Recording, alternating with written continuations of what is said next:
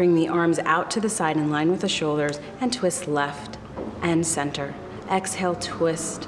Inhale, grow tall in the center. Exhale, pull the waist back. Inhale, lengthen. One more.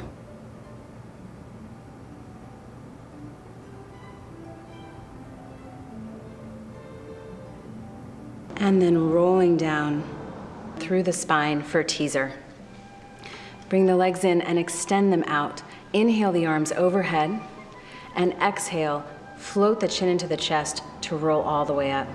Exhale, scoop the low belly to roll down through the spine.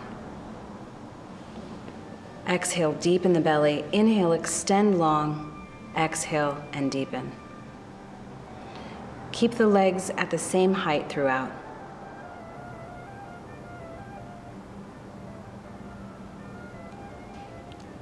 And then coming onto your belly for backstroke.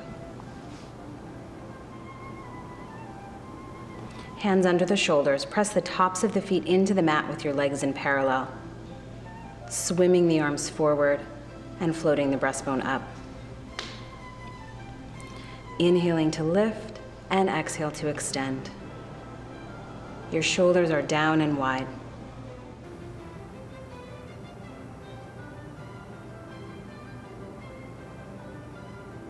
And then press up for the leg pull down. One leg is lifting. We're going to point, flex, and point, flex. Continue to alternate for five, three. Keep finding your diaphragmatic breathing.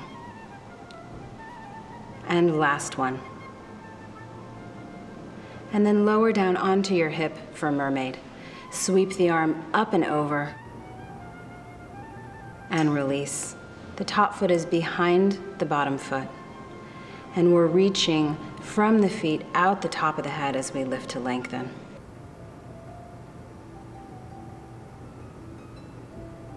Turning to the other side and reaching up and over to lift. Keep pressing the bottom shoulder wide as you reach up through the top fingertips. Feel the work in your hips and in your waist instead of in your shoulders.